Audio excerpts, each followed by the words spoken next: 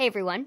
So, I've been doing a couple videos where I'm going to go through different power ups and how you might want to use them and how they work. So, today I want to talk about the Import to Trello by Blue Cat power up. And it's exactly what it sounds like. It lets you import cards from a CSV or an Excel spreadsheet into Trello. So, if you've ever had a spreadsheet and you're like, man, I need to take all of these and they need to become cards on a board, there used to kind of be some hacky ways you could do that, but none of them were perfect. And now that Blue Cat has this power up, it's amazing, and I'm super excited to share it with folks next time I get someone asking me how to do this. So I'm going to link in the description to this power up page where you can read and learn more about it, but let's just dive right into it, shall we? So, first of all, I'm going to add it to the board.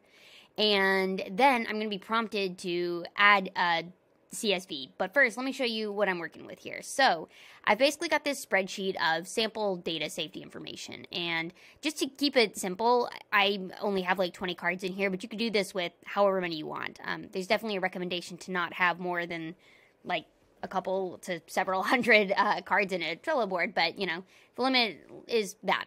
And so, anyways, so you can do whatever you want here. You've got different each row is effectively what you want to be a card. So what you do here is you've got your Trello board set up to be pretty similar. So I have list names for that map to the um, the plant, so that way I can group it in that way. But it could be kind of whatever it wants. Uh, I have some labels here that show the different department it's happening in, and I have some custom fields for the cost and the location, like of the injury type of thing.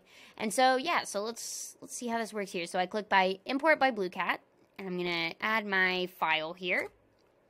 And then you can see here, it's just a simple mapping where it's like, oh, here's a spreadsheet column. Where do I want this to go in Trello? So the date.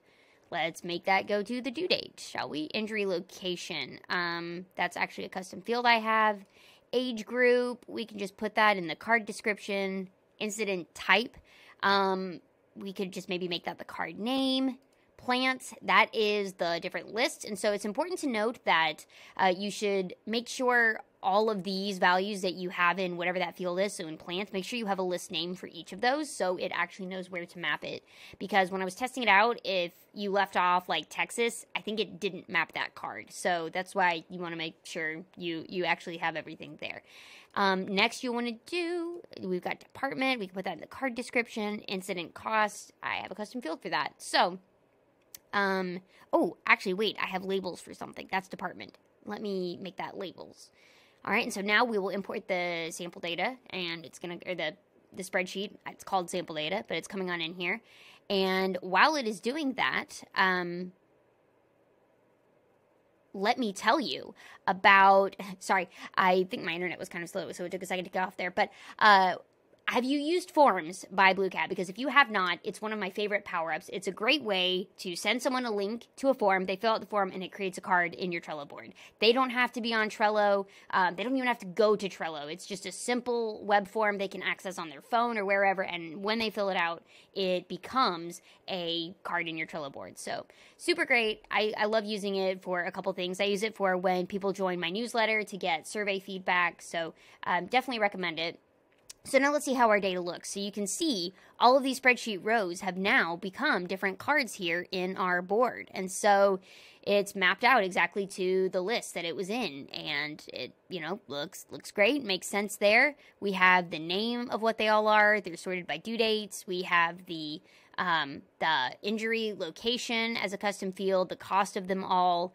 We could view this as a table if we want um, and go back to our spreadsheet views, or we could view it if we wanted to see it in like a calendar. Maybe we want to see like, oh, well, these this data is all back from 2020, but um, take me a little while to get back there. But uh, we could see. Nobody wants to go back to 2020. Why are we doing this? Um, because it's going to make for a great example. So yeah, you can see it all plotted out here on the calendar and then open the card and go to exactly what you want. And um, yeah, so it's pretty cool. It's I definitely recommend this if you're like I've been using something else and I want to use Trello. You can typically export your data from whatever that tool is and bring it into Trello with this. So I definitely recommend checking this out. And if you have any questions, comment down here and let me know. And let me know if there's another power up you'd like me to review and check out.